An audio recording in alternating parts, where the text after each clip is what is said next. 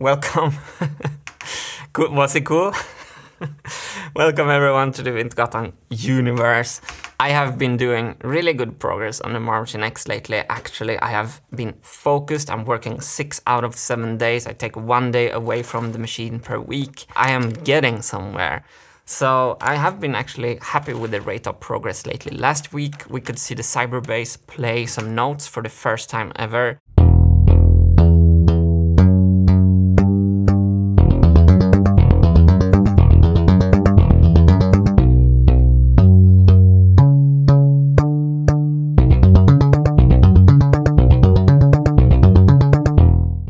See the Cyber Bass function the way I wanted it to.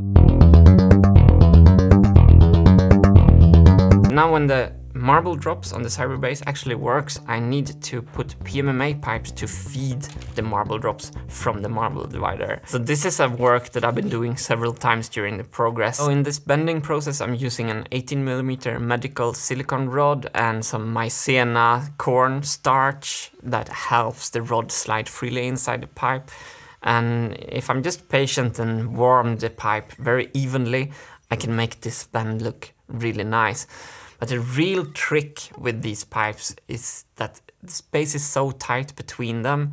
So the first pipe is easy, but then to add the second pipe is really, really difficult because all the pipes start to collide like really quick. So that is the real issue. Well, the real issue is that I've done this like five times. I've changed the marble drop so many times during this design process and every time I had to make new PMMA pipes because the marble drop location was like just slightly altered so this is like the fifth time I'm making all 38 pipes or something like that craziness.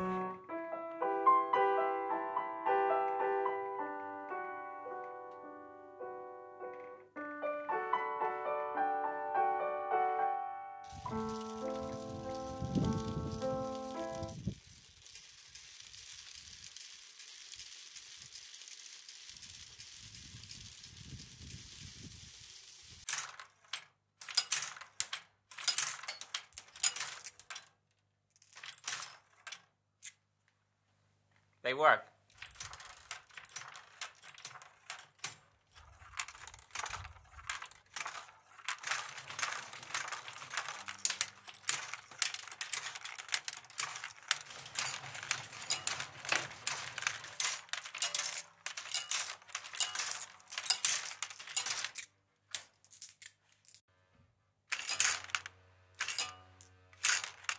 That's cool.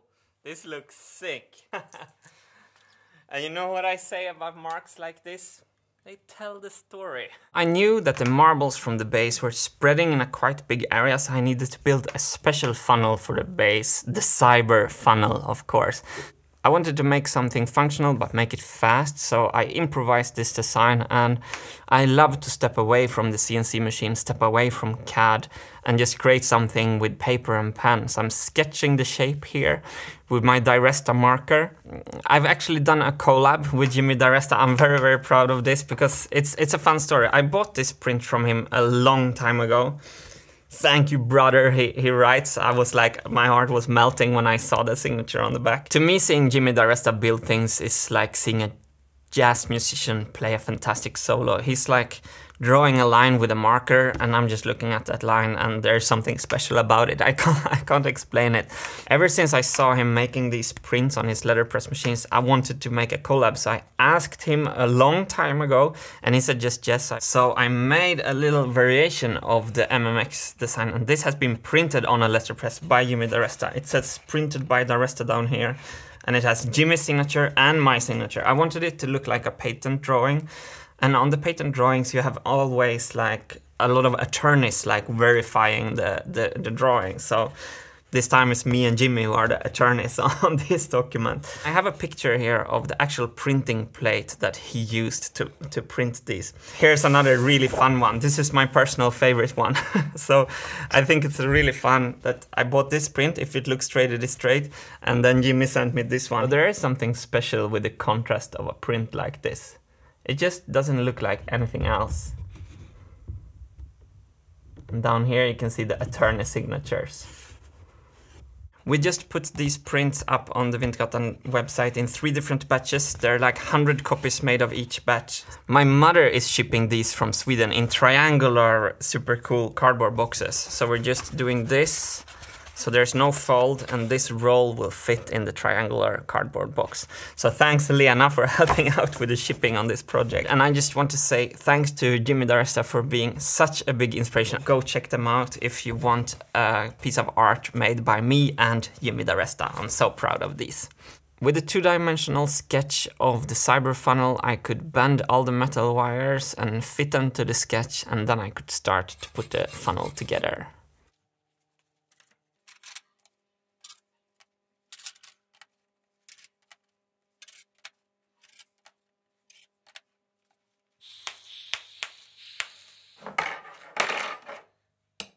I'm using silicon bronze TIG brazing for this work and it's wonderful to work with. It has a lower melting point than the steel, which means that the steel doesn't disappear. You can glue the steel together, so to speak, and you can easily control the results.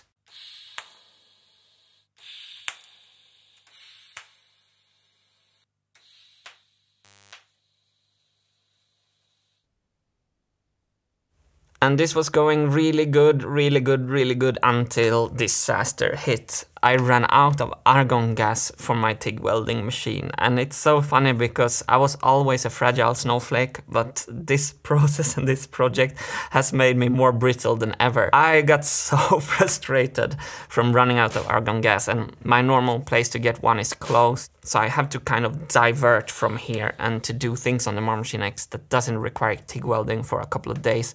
Since I can't show you the final functioning cyber funnel just yet, I wanted to show you the drum drops that I finished last week. You saw parts of this in the marble racing video, but not all. And this is actually a really huge progress. So all the three drum drops for the kick drum, the snare drum and the hi-hat are now Matrix Sentinel marble drops, which is a huge thing because these kind of marble drops is the perfect version. It's the best design I made. And now for the first time we have Matrix Sentinel marble drops on all the instruments already assembled on the Marble Machine X. So that has never happened. And this is the last version of the marble drops I will make. If this doesn't work in the end, I have to start on a new marble machine, so I will not replace these anymore on the Marble Machine X. But I think it will work, and so far they seem to hold up really good. So this is a perfect illustration why I designed these like this. If I drop a marble from the left check where it's landing in the funnel. A little bit to this side. Check again. A little bit on this side where my finger is. And if I drop from the right channel, it's a little bit towards this side.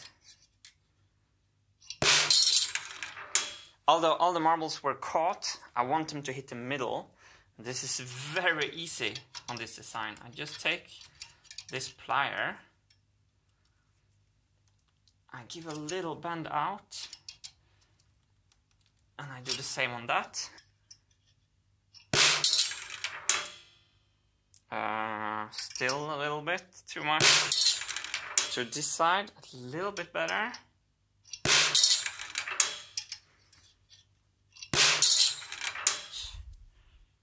So let's give this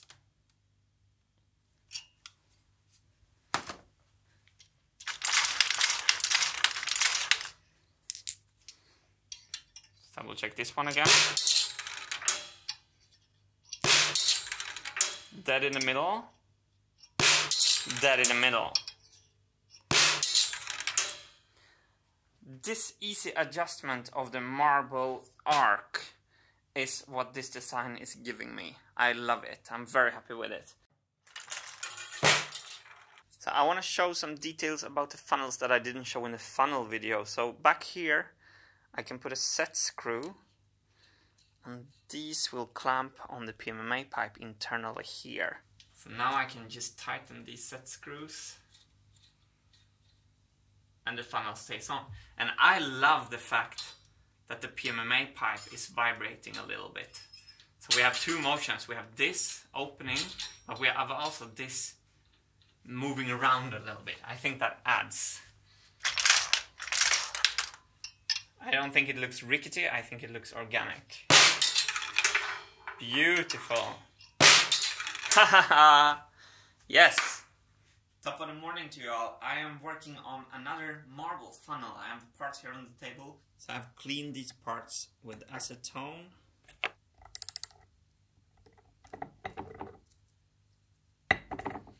Up until today I had assembled two marble funnels, but now I assembled a third one for the hi-hat. So I welded the two halves and they go together like this. In the original funnel video I didn't talk so much about this spring steel on the back side here. So this is a very nice design addition. Instead of using a hinge and a spring, we're letting the spring here be the hinge. So shout out again to the funnel team and shout out to DIYer for bending all these wires so beautifully. So I'm sanding the tops of these wires to have a unison slope. Tops are sanded and now I need to bend this top wire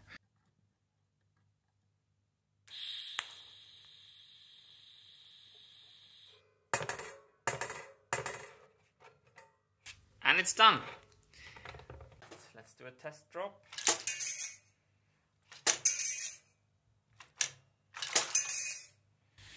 I think it should be lower.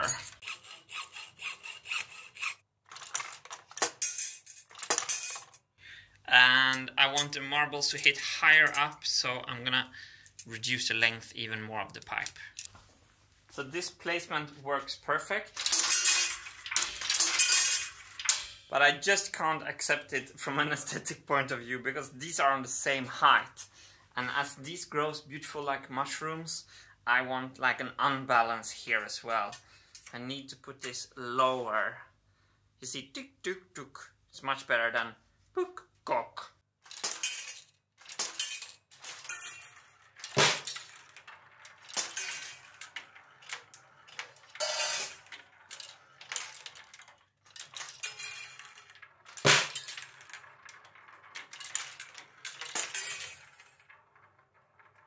I have been going a little bit crazy today because while the funnels are there and I made the drops work, all of a sudden the motor stopped working. It couldn't turn the machine, the tempo went down and down. And I texted Alex and he was like, it's probably resistance in the machine somewhere. So I disconnected the conveyor belt and the fish there. And then I felt the wheel on this side. I couldn't turn it by hand. And I found some resistance. So this little screw has unscrewed itself and it stops the whole machine. Here. The only thing I can do is to cut it off. This makes me a little bit worried about the machine on tour. It's so vulnerable, we have to secure all things like this. Before the world tour we have to take the whole machine apart and epoxy all screws in place into the plywood.